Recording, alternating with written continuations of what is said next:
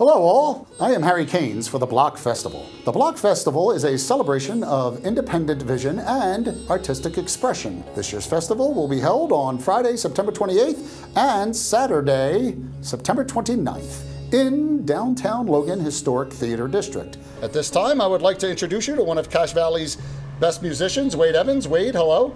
Hello, Harry. It's good to see you. Wade will be performing uh, with his band and also will be a part of the Blocks Learn program. Well, he will be talking about the many great instruments that he has acquired throughout the world during his journeys. Wade, the first question is what were your influences growing up that led you to have so many of these magnificent instruments from all around the world? Well, I've been playing music since from a very young age, from maybe six or seven years old. I started playing piano at six or seven. I moved to the guitar when I was eight or nine and all through my teenage years, that's all I did was play music. And I think it was at some point in my teenage years, I uh, discovered experimental music and improvisational music. Um, and this, this is this was the beginning of the journey that led me to the east, where improvisational music is is common. Um, and so uh, in my early 20s, I, I started listening to more and more Eastern music, Hindustani or uh, North Indian classical music in particular. Of course, the, uh, the legendary Pandit Ravi Shankar um, was my initial introduction, you know, as, as he was for most people in the West who discover Indian music. Um, and he may, you may recognize this name from his uh, association with the Beatles and George, George Harrison in particular as his sitar teacher and mentor. Um, and so in my early 20s, at some point I decided I, I wanted to learn, you know, after listening to this, this music and, and constantly just being amazed by the depth and beauty and uh, the freedom in the music. So I made my first journey to India in my early 20s at 23, where I met my teacher for the first time. And, um, and I, I ended up at his home sort of by chance. And um, he and his son, are, who's, who is a couple years my elder, um, are, and is also a master sitarist, uh, they, they welcomed me into their home. they noticed me outside listening to them and they brought me inside, and uh, uh, my teacher's wife brought samosas and chai, and we sat and we we're talking, and they said, they asked me, so where, where are you from? You know, and I said, oh, I live in Bellingham, Washington. And, and they said, wow, we were, we were in Bellingham only four days ago. They said we were we were doing a tour, a concert tour of the West Coast in the U.S. And uh, on one of our last days after playing at Folk Life Festival in Seattle, we were invited to play at a birthday party in Bellingham, Washington. They said, "Oh, well, whose birthday was this?" And he, he showed me a card, and he pulled out my friend's card, and I wow, this is so strange. I was like, this is a, these are my friends. He said, oh yeah, he showed me on his camera, and his digital camera, he had pictures of him with my friends back home. And what is this, a billion people in India, and I end up at the home of the ones who had just days before been playing at my friend's birthday party back back home. Almost and, kismet, if you think about yeah, it. Yeah, exactly. yeah. And um, they said, well, what are you doing here? And I said, well, I'm looking for a sitar teacher. And the father, who, who doesn't speak much English, you know, is speaking through his son. You know, tell him to come back tomorrow morning. And, and that's how it started. And that's how it started. When, when you went to India when you were 23, what experience had you already had? I'm, I'm assuming guitar, banjo, and yeah, most mostly, mostly strings. But like I said, my, my my initiation in music was through the piano as a kid, um, and this was really because you know my my I didn't really have such a strong interest in playing music at six years old, but my, my mom thought it would be good for me. And uh, she I wanted to play soccer. I was I was interested in being a good soccer goalie, and my mom said, "Well, if you play piano, you know this will improve your hand-eye coordination." Anything to get so, you on, on the yeah. So I said, yeah. "Okay, yeah." So, so I that's that's how I started originally, and then you know I started listening to more and more, and of course it became uh, an independent passion. You know that I something that I was self-motivated to dive into continuously through through my childhood after that. Well, at the Block Festival, we're going to have what's called the Learn program, and you're going to be one of the uh, featured presenters. You're going to be talking about uh, how you, your travels and, and how you've come across all of these great instruments. A few of them are here. What is the advantage of having something like the block here in Logan, Utah, and other towns to allow people like you that have been around the world and have, have delved in all of these magnificent art forms to be able to share with the people that attend the festival?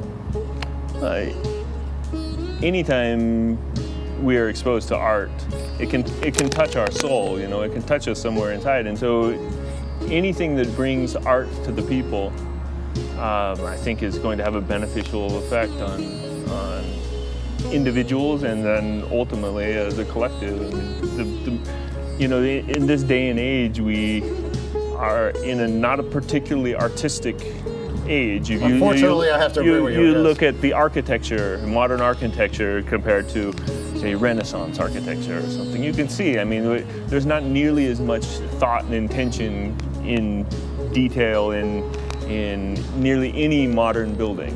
You know, and it's it's there's something similar going on with other art forms as well. I mean, there are there are always exceptions, and there are always exceptional artists in any field. Um, but in general, this country, this culture, we we could use more art. We could use more art in our daily lives, and we could use more time to focus on art. We could use more artists. We could use more people who are passionate about art. And so, if we want art and we want artists, we need to support them. You know, we need to have opportunities for artists to present. And that's what the block will, will this, do. This is what the block festival Fantastic. Now, as you see, we've brought uh, two of your magnificent instruments, and you were warming up uh, right before uh, we went to film, and we were enjoying it, all of us that are here. So why don't you introduce uh, the instrument in the foreground first? Okay, yes, this is a sitar. This is from India. Um, this is the legendary sitar. Most people, you mentioned the Beatles, we probably all know from the song Norwegian Wood from That's the true. Beatles. Yep. That's true. Which um, is a is I mean, it's it's a catchy tune, but it's it's a very superficial display of the sitar's potential. Well, you're you're just introducing it yeah, to to, yeah. to uh, Western yeah. audiences. True, you know, and um, but the the sitar obviously has when a performance on the sitar can last several hours, you yep. know, without stopping.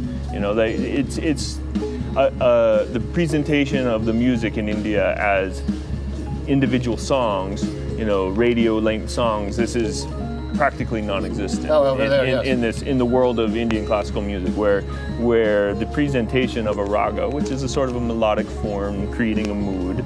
Um, a presentation of a raga can start very, very slowly and meditatively, and uh, the tabla accompaniment, the, the drums, the pair of drums from North India, you know, might not even in, enter the performance until an hour into it, you know. And then, then it can become really exciting. And I, I hope to have a uh, tabla player with me at the at the Block Festival. And that's this. one of the things too that they'll um, probably learn. It's like, hey, when you play these instruments, it's not necessarily a four-minute song. You know, repeat right. the chorus twice. No, and, no, no. And I could vouch for that too. Uh, having heard you live, you could really you know, get into this for 30, 40 minutes at a time, and mm-hmm. it's very enjoyable. So, did you receive? Did you get this one specifically from India? This one particular, and this specific sitar actually came to me. And actually, uh, How? Um, last year there was a, a, man contacted me and he said, I have, I have a very uh, exquisite sitar that was made by the legendary maker Hiren Roy in the 50s he said, and I, I bought it years ago and I put, I mean, he had it rebuilt. And he showed me links on, on online to the luthier who, who actually had studied with Hiren Roy back in um, the 60s, lived, lived at this very address on here. And uh, so this, this man, he, he's a Westerner, he lives in New York. Um, and so he, he re, fully restored this. And if you, you, can, you see it online on his on his website, he calls it's it. It's a magnificent he, instrument. He, actually he calls this the Stradivarius of sitars. I really, this is a, it's a very exceptional sitar, and so. Um, it's elegant. It's it's a beautiful. Everything on it looks magnificent. Now the one we have in the background is an oud, correct? That's correct. And where did you uh, get the oud? If you want to bring that up for all of us. Well, so I I uh, first started playing the oud when I. Uh, you know, after I went to India the first time, like I kind of caught the travel bug, and uh, you went to Turkey. I, I, yeah, it was, it was, within a couple years I, I first hitchhiked across Europe to Turkey and spent six or seven months hitchhiking around in Turkey. And uh, I, I, had, after I came home from India the first time, actually, um, I was back in Bellingham and I, and I saw a really incredible concert of Turkish classical music, and I thought, okay, now I, I, I must I must investigate. I must explore. So, so I went to. I showed. I studied the language, and so by the time I arrived in Istanbul, I could get by without English, and um, and bought an oud and started hitchhiking around the country and finding musicians everywhere I went and learning here, learning there, learning. And then I just kind of started going deeper and deeper into the the classical music, the, the Turkish, the Turkish art music. I mean, the Ottoman era art music, um, which is very, very beautiful and very rich and complex um, art form. Also. So before we get into the music, and, and everyone's going to love hearing you play, talk a little bit about the band that you play with because there's a lot of mm-hmm. Eastern influence in the band. Yeah, so this this band Earthestra, we started off as a as a trio um, with Ryan Conger, who many people. I mean, he's a, he's a well recognized musician in, in Utah. He's an organ Phenomenal player. Yeah, yeah. Um, he you know he plays, for instance, with uh, the legendary Joe McQueen, the 99 year old saxophone player. Who they're still performing. You know, they still have performances every couple weeks. Um, he, you know, he plays with Talia Keys and, and many of these other notable musicians in in um, Utah. But he and I have been friends going back to our teenage years, um, and it was th- maybe three years ago he suggested you know actually we, we taught together at a high school for some years as well. We co-taught some classes and we for whatever reason we never really thought to get together and just play together until a couple years ago. I, would, I had I had for a few years had left you know it had been a few years since I had left the high school and he you know he he tossed the idea by me. He said, you know, I bet we could get Travis Taylor, who's an incredible drummer, a very versatile drummer. He's played many different styles. He said, let's let's get together with Travis and let's let's jam. Let's try to see what we can do of fusing east and east and west. Like it's kind of a east meets jazz in a jam band kind of approach to music. And you know, it took us it took us a little while to find our groove, but then when, when we found our, we started finding our groove and finding our sound, we were like, oh wow, we really can, we can have a, a lot of fun and, and, create something beautiful by fusing these these art forms in a way that is hopefully respectful to, to both traditions. And, and so in this in this group, you know, Ryan plays all the vintage keyboards, the Hammond organ and the um, the Wurlitzers and the Rhodes and the Moogs and the you know the uh, analog synthesizers and stuff like this, all the, the classic vintage keyboard and and um, and I, I play sitar, I play oud, I play guitar, I play some other instruments as well. Um, and, I've had the advantage of, of hearing it. It really is a magnificent mm. concert. I, I, only got to hear you for an hour. I wish it was two or three. Mm. Hey, thank you, thank you. Yeah, I mean we're, we're having a lot of fun, and now we've been we have since included another percussionist, Dan Fields, who who is another great percussionist who you know you would recognize from plays with you know half a dozen different bands around Utah. Um, so yeah, the, we're playing as a four piece now, and we'll be playing I guess Saturday night at the Blockfest. And um, yeah, we're, we're really looking forward to it. We played a couple years ago at the Blockfest, and it was a very short but very sweet set. We had a great time, felt very well received. Well, it's going to be one of the highlights of the festival. I will vouch for that personally. Mm-hmm. So enough talk for now.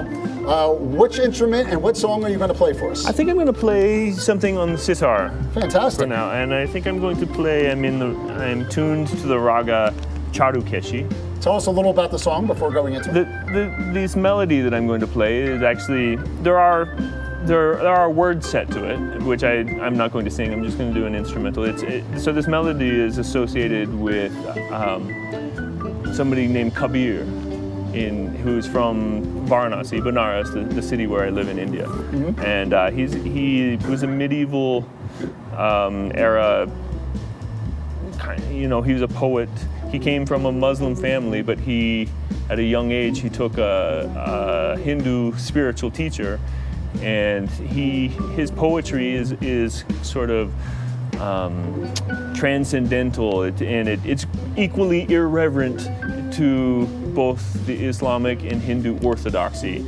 And and in doing so, it, it, he he sort of brings about some sort of union, just on going deeper in the, you know, beyond the surface of spirituality into the into the heart of spirituality, and and so he he's a he's quite a well beloved figure from Benares history. Benares again is the name of the city. And so this is a very historic song. Yeah, yeah, this melody, and so it was, it was taught to me by by my guru, Pandit Shivnath Mishra, um, who who is a very you know very well known. He's he's considered to be like the last living pure Benares Gharana, which is sort of a tradition lineage. This Benares Gharana sitar, you know, he he's very very pure musician, a very pure-hearted man, and uh, he he's like another father to me. And so he, this this is a melody. The raga itself is is has limited form and much scope for improvisation, right? So I'm, I'm going to play, we're only playing three, four minutes. I'm going to mostly, I'll do maybe a, a short improvised introduction, and then, then I will I will play this melody and ho hopefully uh, get this melody stuck in your ears. Well, I know it'll be stuck in my ears, and hopefully it'll be stuck in everyone watching's ears. So, without further ado, ladies and gentlemen, the amazing Wade Evans.